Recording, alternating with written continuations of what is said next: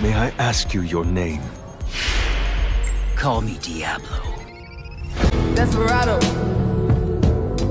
Sitting in a oh my god. We both had a hospital car. Take it easy. I'm not trying to go against you. I can be at home, with you gotta get up out of here.